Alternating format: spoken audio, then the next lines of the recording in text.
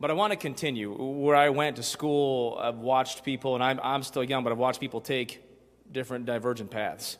And I appreciate being in ministry, being under a man, Pastor Ouellette, who's going to speak to us in a moment here, who continued.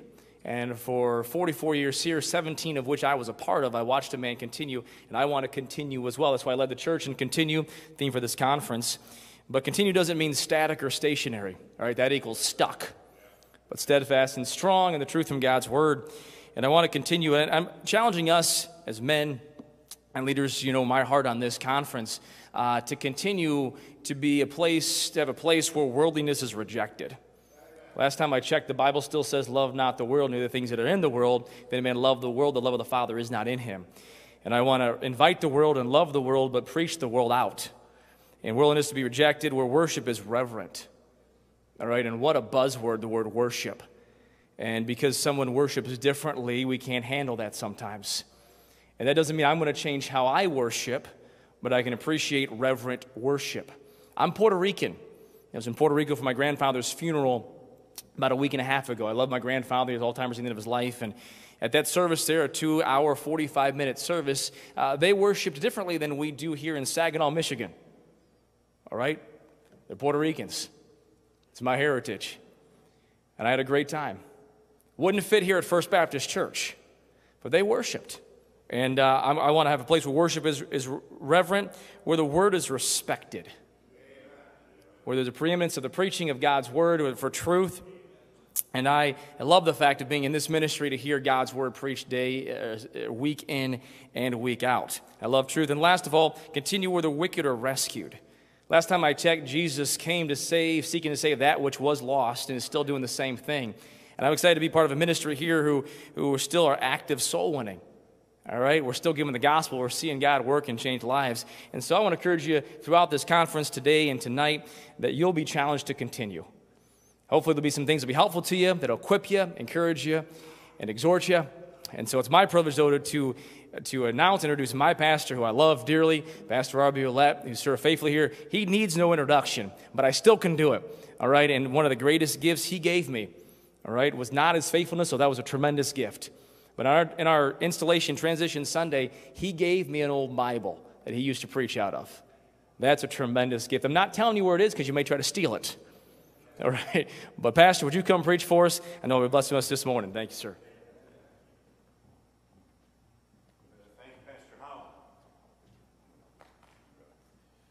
Thank you for coming to the Church Triumphant Conference. I'm delighted you're here. Open your Bible to the book of Joshua, chapter 22.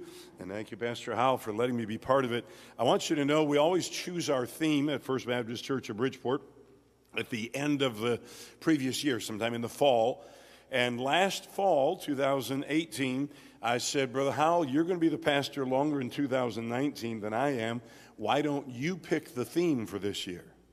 So the theme you see for our year at First Baptist Church was chosen by Pastor Howell. Uh, not only the theme for the conference, but the theme for our church for the entire year. And that's his heart. I have not been disappointed at all. Every time I hear him preach, I'm encouraged.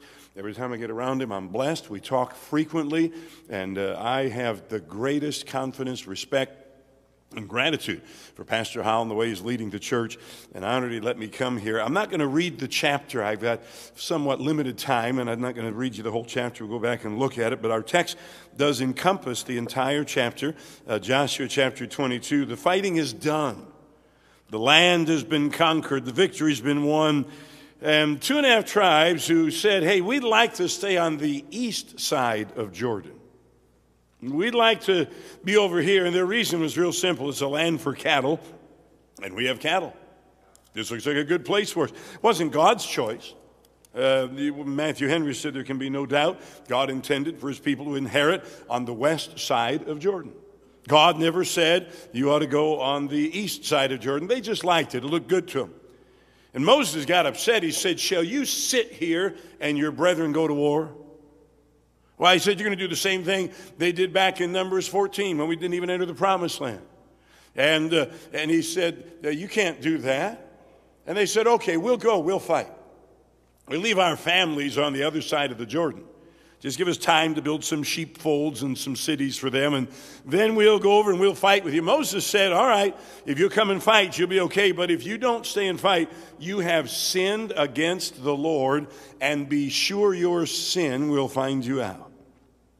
So they went, and they fought for about, according to most Bible scholars, seven years. They were faithful, their wives, their children, on the other side of the Jordan River, and they fought the battle. And Joshua said, Good job. You did what you said you'd do. You've got a lot to take with you. Take your, your, your spoils that we've collected from the inhabitants of Canaan and go back to your tents. You'll find that word four times in Joshua 22. It's intriguing because the people who inherited where God sent them didn't live in tents. They had cities they didn't build, and olive yards they didn't dig, and vineyards they didn't plant that God had provided for them. It's always better when you trust what God will give you than you take what you can see right now. Always better. Our passage begins with a commendation. Joshua called the Reubenites, the Gadites, the half tribe of Manasseh said unto them, You've kept all that Moses, the servant of the Lord, commanded you, and have obeyed my voice in all that I commanded you. You've not left your brethren these many days unto this day, but have kept the charge of the commandment of the Lord your God. And now the Lord your God hath given rest unto your brethren as he promised them. Therefore now return ye, get you unto your tents and unto the land of your possession, which Moses, the servant of the Lord, gave you on the other side of Jordan. Notice who gave him that land Moses. Who gave him the land on the west side of Jordan? God. Moses said, All right, you can have it. Father, help me as I speak and say the things that would please you and help my brethren. In Jesus' name, amen. There's a commendation. He said, You fulfilled the commandment of your leader. You did everything Moses said to do. You did everything that I said to do. He said, You were fruitful in your labor.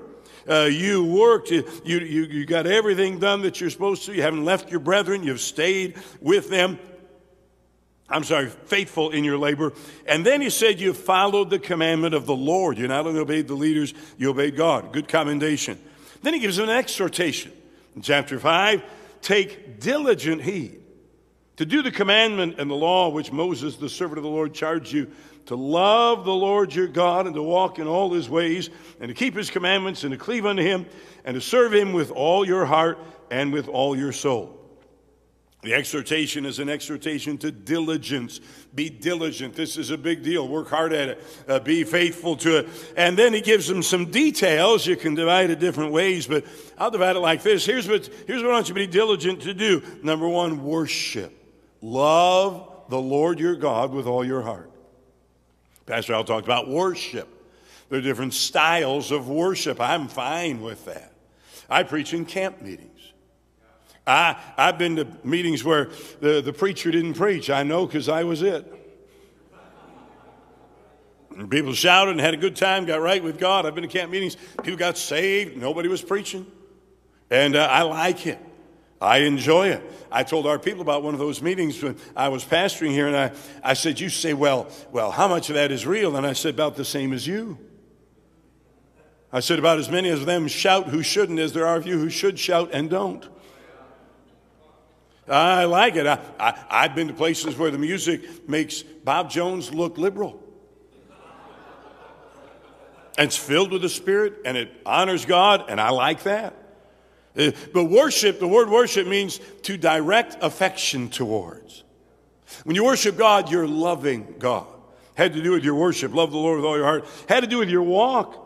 And he said this I want you not only Lord, to walk in all his ways and keep his commandments. Two parts of that. I want you to obey the word of the Lord, keep his commandments, but I want you to know the ways of the Lord. God made known his ways unto Moses, his acts unto the children of Israel. It's more important to know God's ways than his acts. I told our staff when I was pastoring, you need to think like I think. You need to learn how I think and do what I would do in a certain situation. If I would be nice to people, even though you're mad at them, you be nice to them. If I wouldn't do something, even though you may want to do it, don't, don't you do it. Uh, Joshua said, Learn God's commandments, get his words, but get his ways as well. So had to do with their worship, had to do with their walk, had to do with their will. Cleave unto the Lord your God. That's a determined decision. It means to cling. It means to adore. It means to follow, uh, to follow close. It means to be joined together. And the final detail of the exhortation that he gave them to, to live for the Lord was to work and serve him with all your heart and with all your soul. So it's a very friendly parting. Everything's really good. You guys, you want to go on the other side? God's going to let you. That's going to be all right. Uh, and we're not going to fuss at you about that. But we, uh, God said you had to stay and fight, and so they did. Now you did it.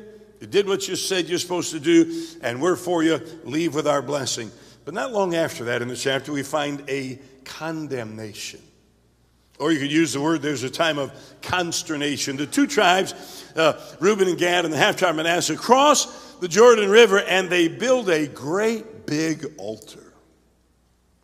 They build an altar, and the Bible says, I think it's a, let's see, about verse 10, they came across and they built there an altar by Jordan, a great altar to see to. What are altars for? What, what are altars for? Do you do at an altar? Sacrifice? Worship? Are they to look at? Are they to be impressive? Are they to show off? That's not what they're for. They're to meet with God. That's what an altar is about. Man coming to God, man being reconciled to God. But they built a big altar to see to. So, as we look at the condemnation that comes, there's an awareness. The other tribes on the other side of Jordan, it's a, it's a very clear presence of this altar. They can see it from across the Jordan River. And there's a confusing purpose to it. Uh, the apparent intention, according to the 10 tribes on the other side, is hey, you're building another altar to worship God. You can't do that. God told us in Deuteronomy chapter 12 exactly where to build this altar and what we're supposed to do with it. When you read the book of Deuteronomy, I'm always impressed, and sometimes in Leviticus as well, how often God uses the word place. Go to the place that your God will choose. Uh, you give, got to give your tithe at the place. You got to give your sacrifice at the place that God chooses. And this was not the place of God's choice. God had given no instruction to build this altar. So the uh, ten tribes say, Wow, you're already departing from our God and building another altar. Now, that wasn't their actual intention. Their actual intention was different than that. Uh, they're going to tell us that in a little bit. I'll come to that. And so there's an awareness and then there's an attack. It's somewhat legitimate. It does look like they are disobeying the command of the Lord. And their immediate reaction is, We're going to kill y'all. Verse 12 the children of Israel heard of it. The whole congregation of the children of Israel gathered themselves together at Shiloh to go up to war against them. Verse 16, thus saith the whole congregation of the Lord, What trespass is this that you've committed against the God of Israel to turn away this day from following the Lord, in that ye have builded you an altar that ye might rebel this day against the Lord? And he on to mention other times in the past of Israel, uh, time of Baal Peor, where there was iniquity and idolatry and fornication and judgment. And they, and they make an interesting statement. I haven't studied this out. Uh, you might want to study it out. Said, From which we are not cleansed unto this day. I find that interesting. I think that means that though God forgave them, the consequences of the sin have remained some years later. I think that's what that means. You can study it out and tell me if I'm wrong. So their immediate reaction is, We're going to kill you. But there's something really interesting I find in verse 19. There's not only an immediate reaction that we're going to fight you, we're going to go and destroy you, but there's an invited return, an invitation to return, notwithstanding if the land of your possession be unclean. Hey, did you get over there and figure out you shouldn't even have been there? Did you get over there and figure out that wasn't the will of God for you? Did you get over there and find that it's a pagan place and you didn't drive the pagans out like you did on the other side of Jordan? If the land of your possession be unclean, then pass ye over unto the land of the possession of the Lord. See the distinction? Your possession, the possession of the Lord. Wherein the Lord's tabernacle dwelleth, and take possession among us. Hey, you can come back. Wow in the midst of their anger, in the midst of their righteous concern that God's laws have been violated, they still invite their erring brethren to return. I tweeted one time if you think somebody's leaning out of the boat, pull them back in, don't push them in the water.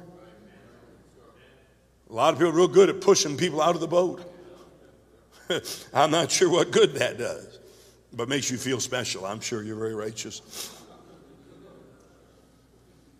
But then, I want you to go back a few verses. Not only was there an immediate reaction, not only did they invite a return, but there was an investigation of the reason. Verse 13. Remember, they're very upset. They're ready to go. The army is gathered.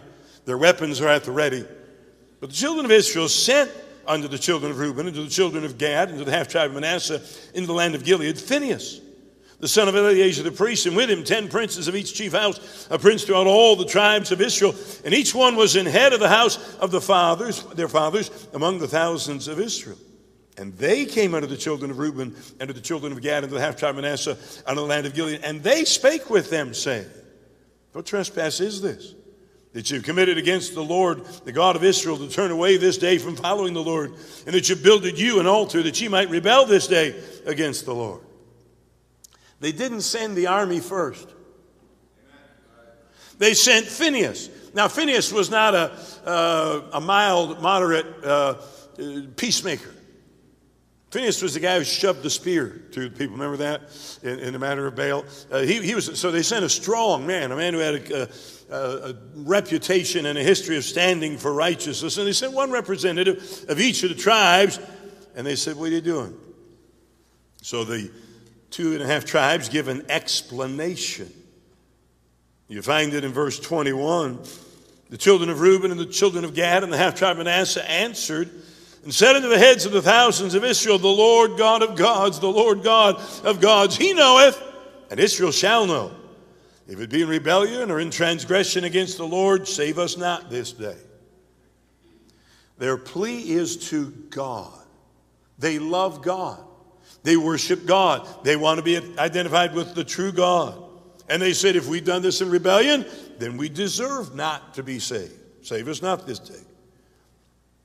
And then they tell them their purpose. They make a plea, they tell them their purpose. Verse 23 that we have built an altar to turn from following the Lord, or if to offer their unburnt offerings or meat offerings, or if to offer peace offerings thereon, let the Lord Himself require it. And if you've not rather done it for fear of this thing. Saying, in time to come, your children might speak unto our children, saying, What have ye to do with the Lord God of Israel? The Lord hath made Jordan a border between us and you, ye children of Reuben and children of Gad. Ye have no part in the Lord. So shall your children make our children cease from fearing the Lord. They said, Look, it, we're on the other side of the Jordan River and they say, Your children might say to our children, Hey, you're on the wrong side of the tracks. You're on the other side of God's border that He has set, the Jordan River. And you're really not part of us, and you're really not Israelites, and you really don't worship the true God. And there is on the part of the ten tribes then a perception Verse 32 Phinehas, the son of Eleazar, the priest, and the princes returned from the children of Reuben and from the children of Gad, out of the land of Gilead, unto the land of Canaan, to the children of Israel, and brought them word again. And the thing pleased the children of Israel. The children of Israel blessed God and did not intend to go up against them in battle to destroy the land wherein the children of Reuben and Gad dwelt. The children of Reuben and the children of Gad called the altar Ed. For it shall be a witness between us that the Lord is God.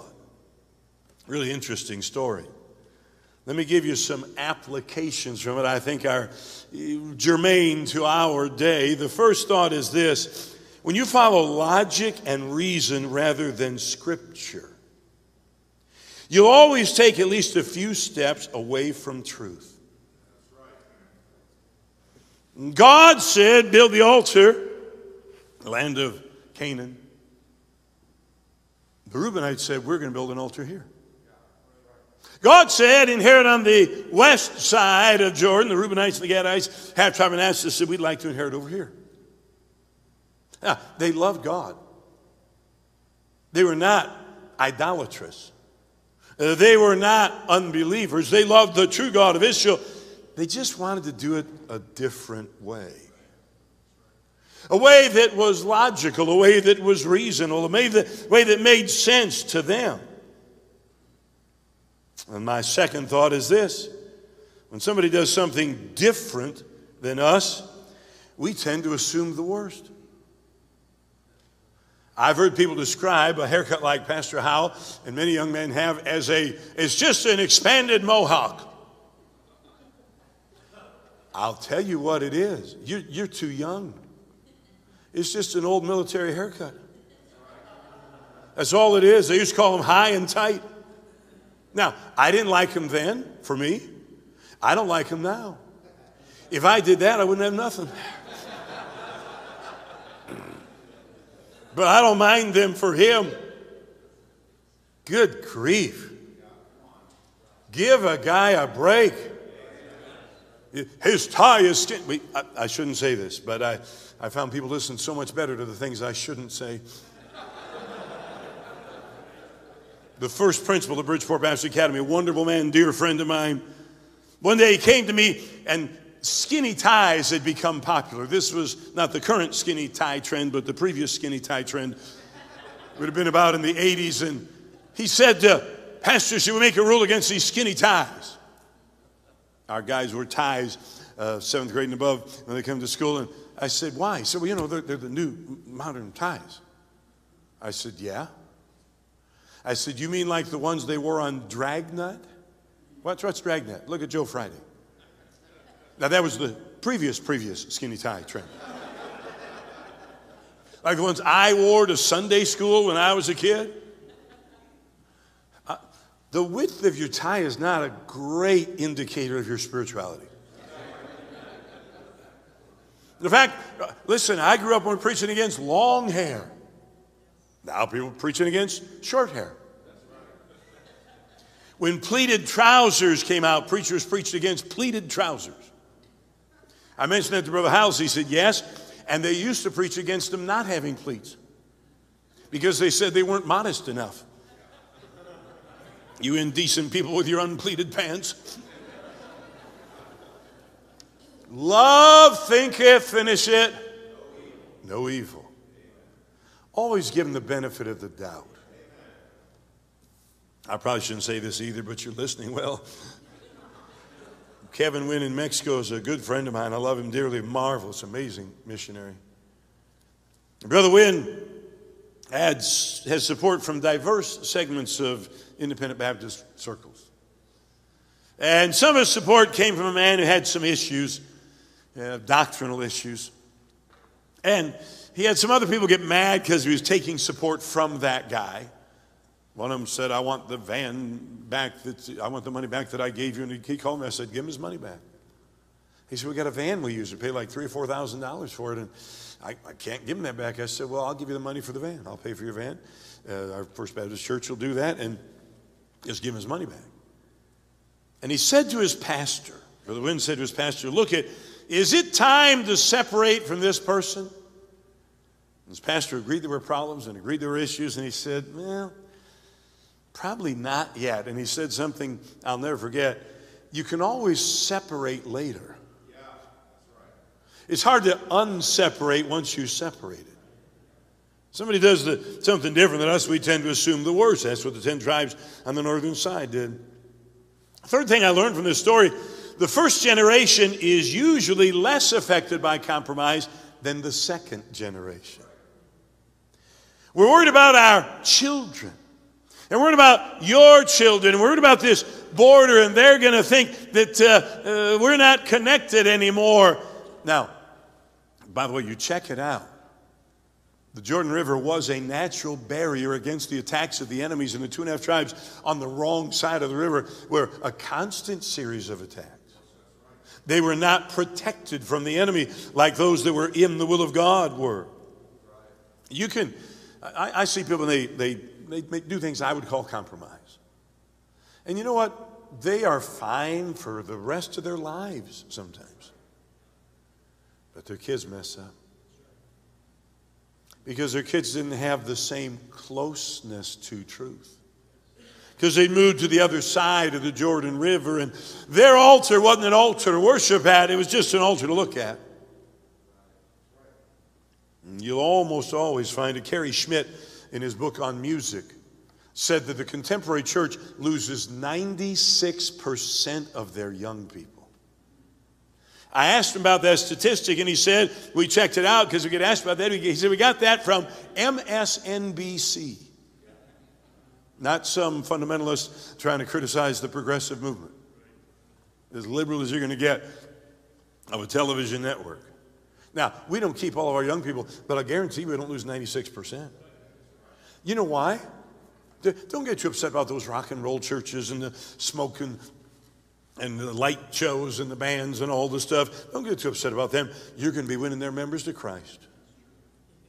I've been doing it. I, I wasn't going to tell this. I was on the airplane a while back. I gave a lady next to me a track. She just moved from outside of Chicago, Willow Creek, to Petoskey. And uh, she said, Oh, she said, we were for years with Bill Hybels. I said, Oh, that, what, what, uh, they give her the track, said it tells you how to be sure you're on your way to heaven. And I said, What did they tell you there you needed to do to go to heaven? And here's what she said She said, Their weekend service were for the masses. She told me how many people came. She told me where the overflow went and all the stuff. She didn't answer my question, so I just didn't say anything. After a little bit, she said, Well, in the, the evenings, the weeknights, they had special groups and they were more in depth. But she still answered the question, so I didn't say anything. And then she said, I guess they didn't tell us how to get to heaven. So I told her. And she prayed and asked the Lord Jesus to save her. Not the only experience I've had like that. They water down the gospel to make it acceptable to the world to a point people don't even understand it. Don't be too worried about them. They're going to keep going farther. But you know what happens? Young people in those churches find out the world does rock and roll better than the church. If you get them for the music, the world's got better music. I love our music at the church here. I'm so happy to be a member of a place with wonderful, godly, uplifting, encouraging music. But you, uh, you can win people to Christ without music. And we don't want the music to be the reason people come. We want it to be the preaching of the Word of God. First generation usually is less affected by compromise than the second. Next truth is this you can always come back. Not many do. But you can always come back. I first had this thought when some of my brethren committed sins that disqualified them for ministry.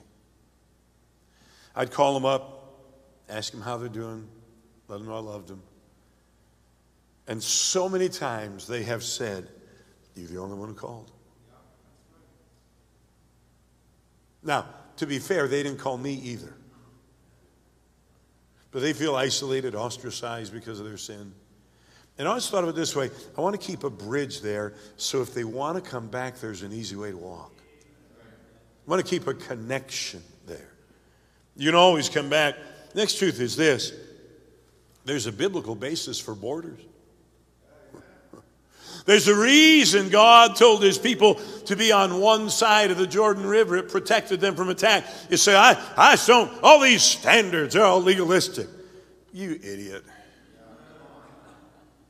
Everybody has standards. Let me come sing at your church next Sunday in a Speedo. Come on. At my age, it wouldn't be sinful, it'd just be shameful. I promise no one will be led astray. If you need post traumatic stress disorder counseling afterwards, but everybody's good. Don't you get honest. Good saying that nonsense. But did you know you can have no application of principle without some kind of guideline? Why do we have traffic laws? What's the one reason we have traffic laws? Safety. So why don't we just put big signs all on the roads? Be safe. No, we don't. We say drive this speed on this road and that speed on that road and this speed on that road because not everybody has the same idea of safety. By the way, all those guidelines have an element that is arbitrary. Why are all speed limits in multiples of five? You mean to tell me the exact scientific best speed limit is always 25, 30, 35, 40? I bet you sometimes it's 37.3. But it's easier to keep it if it's at a five. There's a Bible reason for borders. I read about a, some liberal thinker, and they decided children need to be unrestrained and have more freedom. And so they, they uh, took the fences down from the playground. And you know what happened? The children huddled together in the middle, and they didn't play much. They didn't know how far they could go. They didn't know where the limits were. They didn't know where the boundaries were. They put the fences back up, and the kids ran all the way to the edge of the fence. There's a Bible basis for boundaries. You better have some in your church, or you're not going to help people obey the Bible principles you want them to obey. Next thing I learned from this story is this investigation should precede separation. Did you hear what I said? Investigation should precede separation. I uh, don't spend much of my time worrying about my brethren that are going different, but if they go public, if they try to influence people to go a certain direction, then I think it's fair for me to talk about what they publicly said. Because I'm trying to influence people to go another direction. And uh, I read somebody's blog a while back. He said, At this time, I am majority text. Now, he wasn't. He was TR when he started out. He was King James when he started out. Uh, this allows me to use, and he listed all the Bibles he could use because he was majority text rather than TR. And then he said, At this time, I have no interest in joining the Southern Baptist Convention. Now, you know my main problem with that blog were the words at this time. There's some things that are true for all times. Uh, uh, that's like saying, at this time, I have no interest in being unfaithful to my wife. I may meet somebody later, change my mind. I, I may later on decide that she's kind of ornery and I just want. No, no, you're just faithful to your wife. That's, and you just use the King James Bible and uh, you just stay away from entanglements with associations that have compromise in them all the time. Investigation should precede separation. I, uh, I was told the other day, preaching at a church in another state, and I was told that there was a meeting, and a man I know uh, was kind of waffling on the King James Bible. Another man I know uh, stood up and, and told what he believed about it and was actually criticized by the man leading the meeting. Why would you say that? Why would you take that King James stand? Now, I'm not naming that man because I haven't called either of the men yet. I haven't checked it out. I'll check it out, and then I can say so and so said. So and so was at the meeting, and this is what was said. But I like what they did. They sent over Phinehas and one from each of the 10 tribes, and they said, Hey, what are you doing here? Investigation should precede separation. I've had people all upset and just tell me the most awful stories. And if I believed what they'd said, I'd, I'd want to kill the guy. But I check it out, it wasn't usually quite accurate. I was 15 years old. My dad ran the Detroit Rescue Mission, and he had a camp in the summer. I got to go to the camp. It was a girls' week coming up, and a young lady had come from a church in the Detroit area. Uh, she got there Sunday night after church. Camp was going to start Monday, and I liked her. Her name was Kathy Kapenka. I was, I was as tall then as I am now, maybe taller. And she was under five feet tall. We're sitting in a kitchen on a couple of stools talking. My dad walked by and he saw that every little bit I leaned down and kissed her. What would you do? You wouldn't find the door, you'd make a door.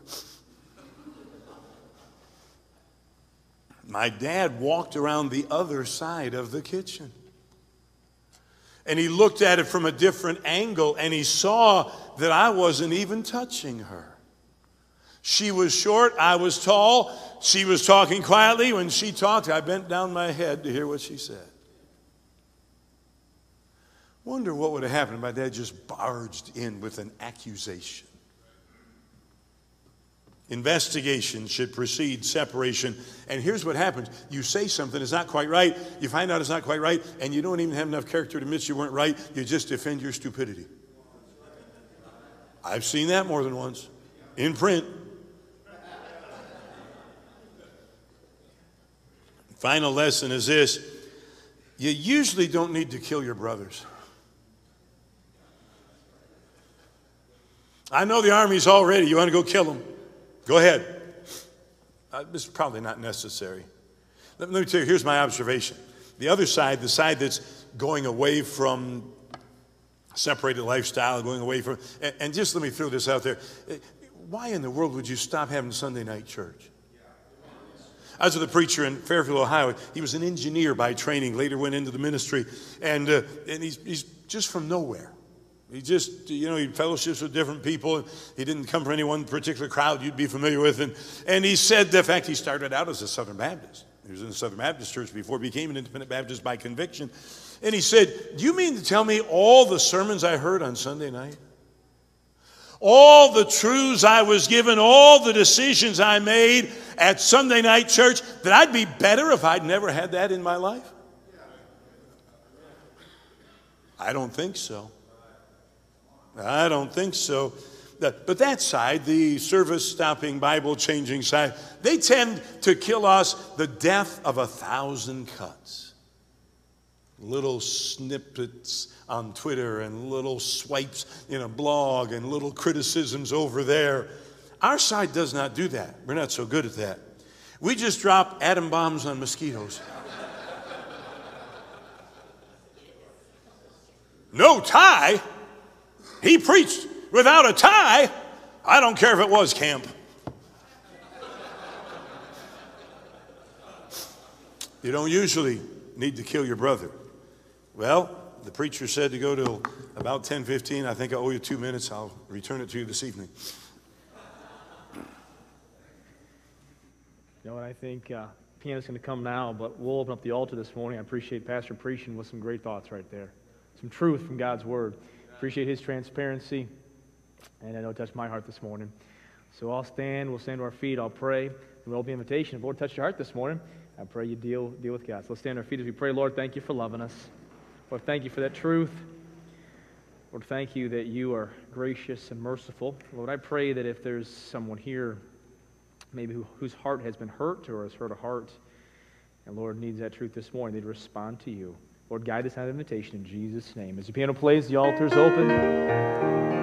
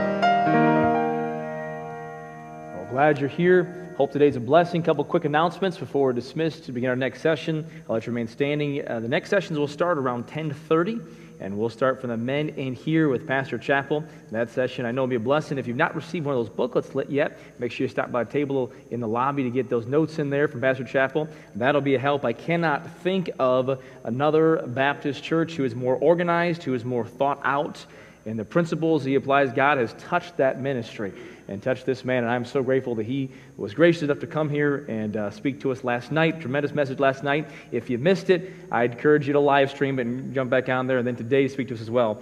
And so that'll be in here. Mrs. Kathy Jackson for the ladies will be in the chapel. If you follow the signs, you'll find that, or just follow all the all the ladies. All right, you can hear down there. And I'm not saying they'll be loud or talking. I'm just saying follow the ladies uh, that direction.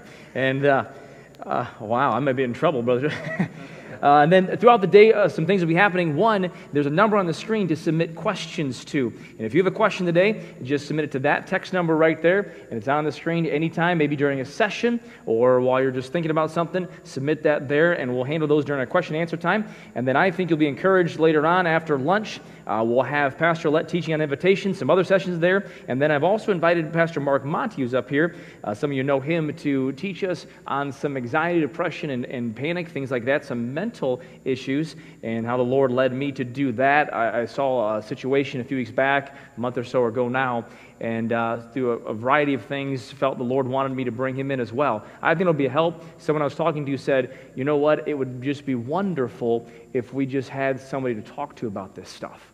And so I don't know what the Lord's doing in your heart and life, but we have some help for that. I also have a, a, man by the name of John, Pastor John Morrow here, and he'll be blessed. We'll talk about him a little bit later on. So we're excited. It's about 1021. We'll plan on getting started at 1030. There's a coffee shop still open and bathrooms out there. And so we'll see you at 1030 to start the next section. Thank you so much.